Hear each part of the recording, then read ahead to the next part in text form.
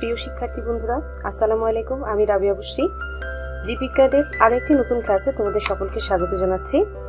গত ক্লাসে আমরা বিভিন্ন ধরনের উদ্ভিদ টিস্যু সম্পর্কে পড়েছিলাম। ভাজক টিস্যু এবং স্থায়ী টিস্যু সহ বিভিন্ন টিস্যু সম্পর্কে পড়েছি। আজকে পড়ব আমরা সরল টিস্যুর প্রকারভেদ সম্পর্কে। সরল টিস্যু তিন প্রকার, গত ক্লাসে আমরা পড়েছি যে সরল টিস্যু তিন ধরনের, প্যারেনকাইমা, কোলেনকাইমা এবং স্ক্লেরেনকাইমা। আজকে আমরা এই তিনটা টিস্যুর বৈশিষ্ট্য সম্পর্কে জানব। প্রথমে আসছি আমরা প্যারেনকাইমা টিস্যুর বৈশিষ্ট্য এবং গঠন।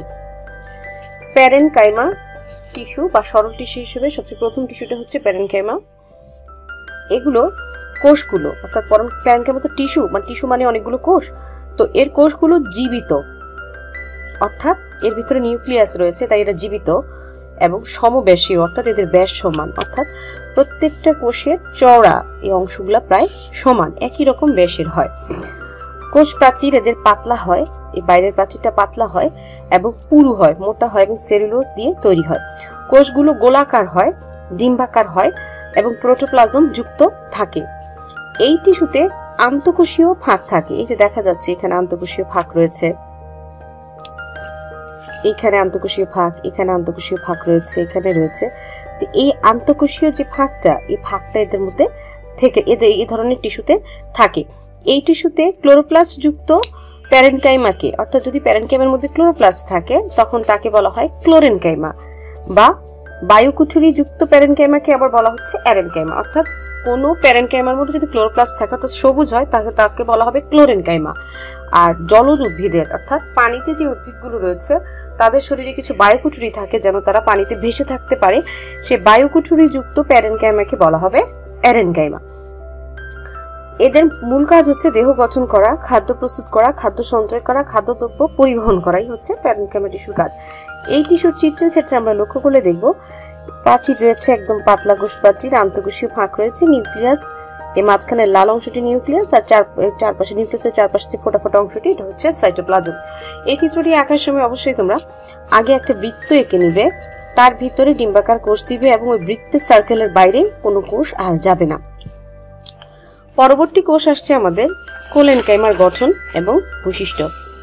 প্যারেনকাইমার পরবর্তী সরল টিস্যু হচ্ছে কোলেনকাইমা। কোলেনকাইমা কি প্রকার? কোষগুলো জীবিত এবং প্রোটোপ্লাজম পূর্ণ। এই হচ্ছে কোলেনকাইমা কোষ। প্যারেনকাইমা গোলাকার ডিম্বাকার ছিল, কিন্তু এটা সেরকম না। কোষগুলো অসমভাবে পুরু, অর্থাৎ চারিদিক সমান পুরু নয়, কিন্তু কোনাগুলো তাদের অধিক পুরু। কোষ প্রাচীর তৈরি হয়েছে সেলুলোজ এবং পেকটিন জমা হয়ে, অর্থাৎ এর গায়ে সেলুলোজ এবং পেকটিন জমা হয়েছে প্রাচীরে, এই প্রাচীরগুলোতে কোষ প্রাচীরগুলোতে অর্থাৎ নীল কালার অংশগুলোতে, আর লাল অংশটা অবশ্যই নিউক্লিয়াস, এই টিস্যুর কোষগুলো লম্বাটে এবং সজীব। দেখতে কিছুটা লম্বাটে হয় এবং সজীব থাকে, এতে আন্তঃকোষীয় ফাঁক থাকতে পারে, কিন্তু এখানে কিন্তু আন্তঃকোষীয় ফাঁক নেই, থাকতে পারে, হয়তো এখানে আরেকটা টিস্যু দিলে থাকতেও পারত। খাদ্য প্রস্তুত করা এবং উদ্ভিদ দেহকে দৃঢ়তা প্রদান করা এর কাজ, অর্থাৎ খাদ্য তৈরিতেও সাহায্য করে যখন ক্লোপ্লাস্ট থাকে। এছাড়া উদ্ভিদ দেহকে দৃঢ়তা প্রদান করা এর হচ্ছে কাজ। এই চিত্রটা আঁকার ক্ষেত্রেও তোমরা মনে রাখবে যে আগে তোমাদের অবশ্যই একটা সার্কেল করে নিতে হবে, তারপরে চার কোনাকার কোষ। সার্কেলের বাইরে যেন না যায় চার পাঁচটা থাকে, তাহলে তোমাদের এই কোষটা আঁকা হয়ে যাবে।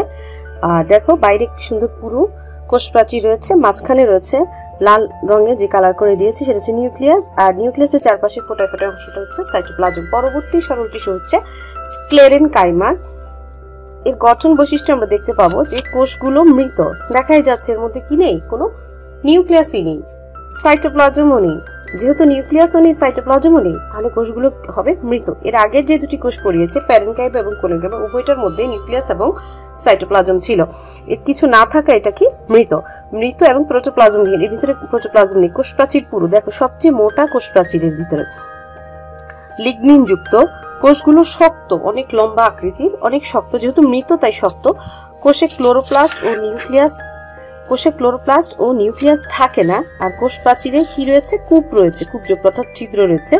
এ কোষগুলো ফাইবার ও স্ক্লেরাইড এই দুই ধরনের হয়। এদের কাজ হচ্ছে উদ্ভিদদেরকে দৃঢ়তা প্রদান করে, পানি এবং খনিজ লবণ পরিবহন করা, হচ্ছে এদের প্রধান কাজ। এ হচ্ছে স্ক্লেনক্যামার বৈশিষ্ট্য, আর এই ক্ষেত্রে আকার ক্ষেত্রে সার্কেল করে নিবে। চার কোনা সার্কেলের পুরোটা যে ভরতে হবে তা না, তবে সার্কেলের বাইরে যাওয়ার চেষ্টা করবে না।